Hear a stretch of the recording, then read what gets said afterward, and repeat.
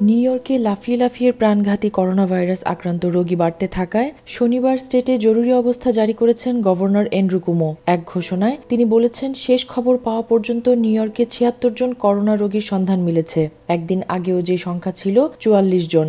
We are aggressively testing, following up leads because we want to find as many people who test positive so we can get them out of circulation. We have 21 new cases that we found, so we're a total of 76 in the state of New York right now.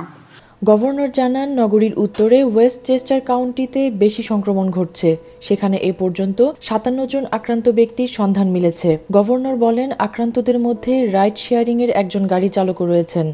এ কারণে বিষয়টি উদ্বেগজনক। ওই গাড়ির চালক queen's এলাকার বাসিন্দা। ধারণা করা হচ্ছে নিউ ইয়র্কের দ্বিতীয় আক্রান্ত ব্যক্তি সেখানকার একজন পঞ্চাশ বছর বয়সী আইনজীবীর মাধ্যমেই কিছু সংক্রমণ বিস্তার লাভ করেছে।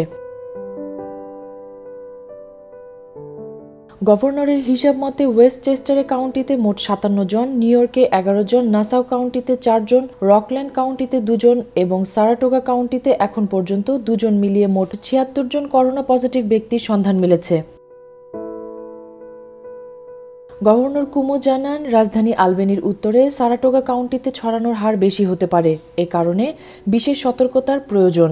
শনিবার দেয়া ওই ব্রিফিংয়ে গভর্নর বলেন, জরুরি অবস্থা জারির ফলে সেলফ কোয়ারেন্টাইনে থাকা হাজারো মানুষ সুবিধা পাবেন এবং তাদের সেবা ও পর্যবেক্ষণের জন্য বাড়তি মনোযোগ দেওয়া যাবে।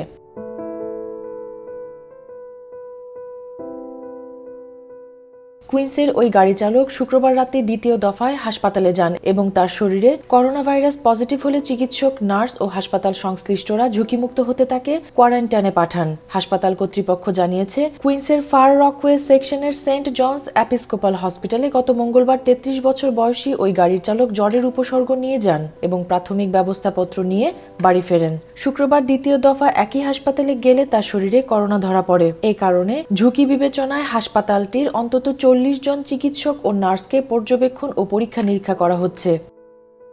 এদিকে শুক্রবার নিউ ইয়র্ক সিটি কর্তৃপক্ষ ফেডারেল কর্তৃপক্ষের কাছে পাঠানো এক চিঠিতে অবস্থা খারাপের দিকে যেতে থাকায় আরও বেশি টেস্ট কিট এবং অন্যান্য চিকিৎসা সরঞ্জাম দাবি করেছে।